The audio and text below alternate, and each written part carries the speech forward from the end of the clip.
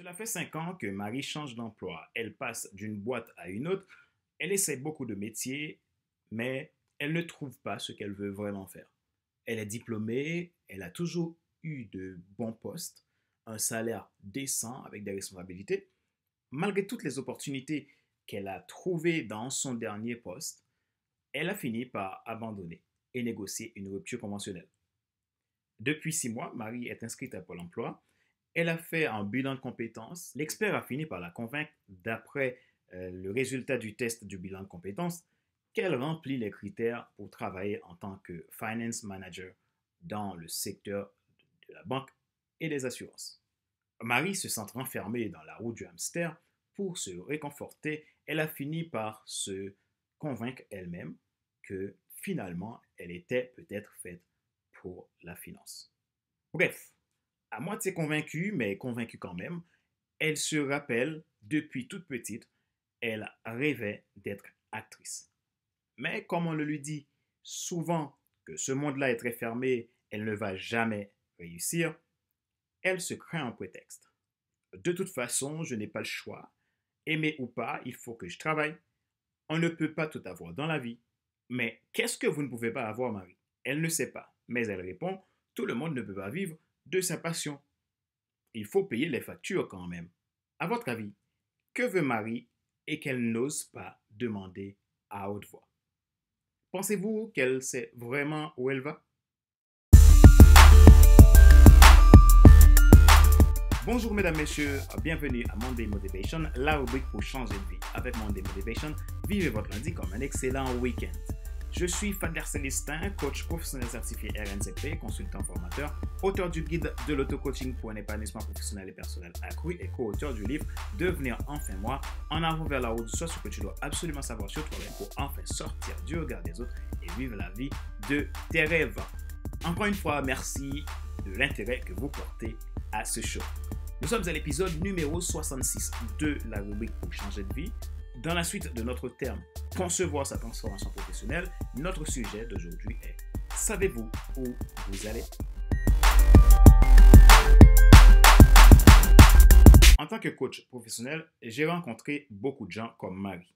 Vous qui m'écoutez, quelle est votre situation actuellement? À force de faire des expériences de coaching de haut impact, j'arrive à la conclusion que le plus gros frein de notre réussite professionnelle est dû à trois choses. Premièrement, au manque de connaissance en soi. Les gens ne cherchent pas à connaître qui ils sont, mais plutôt ce qu'ils doivent faire. Pourquoi? Parce qu'on ne nous a pas appris à le faire. La société nous impose à faire au lieu de nous laisser la chance de trouver notre identité pour faire. Deuxièmement, beaucoup de gens ne connaissent pas leur pourquoi, c'est-à-dire le but de leur vie, leur raison d'être. Je suis convaincu de ça. Chacun a une mission sur Terre. Cette mission est un tout, que ce soit professionnel, personnel, spirituel, social, familial. Et vous avez le potentiel qui vous a été déposé dès la naissance pour la réaliser. Mais le problème est notre désir d'être approuvé par les autres et la peur que cela engendre obstrue notre vue pour voir au-delà. Troisième chose, c'est la peur d'être différent et de ne pas être accepté par la société. Fausse croyance. Vous avez un ordre de mission et vous devez choisir. Soit de ne pas avoir peur du regard des autres et faire ce que vous devez faire pour influencer le monde, soit de subir le regard des autres et faire quelque chose juste pour donner l'impression aux autres et alors subir le poids de la vie. La question que je vous pose, savez-vous où vous allez dans votre transformation professionnelle Nous entendons beaucoup parler de cas de souffrance au travail. Dans de nombreuses situations, cela arrive parce que les gens n'ont jamais osé faire le bon choix de leur vie. Il existe trois cas de figure d'où les gens peuvent se situer. Premièrement, faire un travail dont vous avez l'expertise, mais vous n'êtes pas passionné. Deuxièmement, faire un travail où vous êtes passionné, mais vous avez une expertise minimale. Et troisième chose, faire un travail où vous êtes passionné et que vous avez de l'expertise. Lequel choisirez-vous? Le troisième cas de figure est l'idéal, mais il devient le plus difficile à atteindre pour la seule raison, beaucoup ont peur d'affronter la réalité. Si vous êtes dans la catégorie des gens qui savent où ils vont, tant mieux. Toutes mes félicitations. J'ai trois très bons conseils pour vous.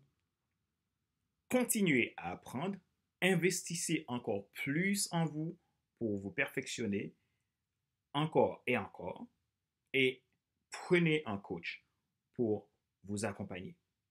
Sachez que personne n'a besoin d'un coach.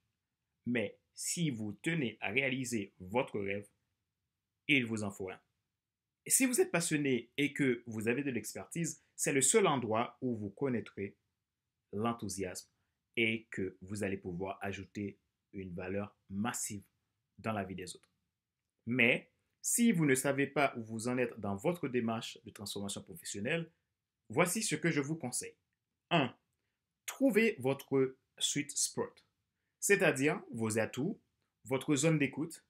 De là, vous puiserez les meilleures informations sur vous-même pour partir sur de bonnes pistes.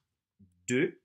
Recherchez à définir le besoin ultime que vous avez vraiment envie de résoudre dans votre vie et celle des autres. 3. Faites votre canevas, c'est-à-dire définissez le concept qui marchera pour vous en fonction de vos valeurs fondamentales. 4. Prenez un coach pour vous aider. Ce n'est pas obligatoire, mais très important. Si réaliser votre rêve est pour vous un besoin prioritaire. Croyez-moi. Rappelez-vous que le développement professionnel de tout individu est avant tout une affaire de transformation personnelle. Le niveau de réussite du professionnel, d'un entrepreneur, d'un dirigeant ou toute autre personne à responsabilité ne dépend pas du poste ou de la place que vous occupez. C'est intimement corrélé à l'état d'esprit. Toute transformation professionnelle prétendue est d'abord une affaire de transformation personnelle. Pour avoir un résultat de changement durable pour votre vie professionnelle, il est important d'identifier votre pourquoi. C'est la base. C'est la fin de cet épisode numéro 66 de la série Monday Motivation, la rubrique pour changer de vie. Merci de l'avoir suivi. Avec Monday Motivation, vivez votre lundi comme un excellent week-end. C'était Fadler Célestin, votre coach professionnel certifié RNCP, consultant formateur, auteur du guide de l'auto-coaching pour un épanouissement professionnel et personnel accru et co-auteur du livre Devenir enfin moi, en avant vers la route, soit ce que tu dois absolument savoir sur toi-même pour enfin sortir du regard des autres et vivre la vie de tes rêves. Gratitude pour vos feedbacks vous êtes le sens de ce que je fais. Merci. Mon plus grand désir, c'est de voir chacun de vous en train de réaliser vos rêves les plus les plus chers. Vous êtes capable et je crois en vous. Vivez, aimez et devenez. Excellente semaine à vous. Enfin, soyez à l'écoute de ce qui se passe à l'intérieur de vous. Sur ce, je vous donne rendez-vous à la semaine prochaine pour un nouvel épisode du Monday Motivation la rubrique pour changer. Bye bye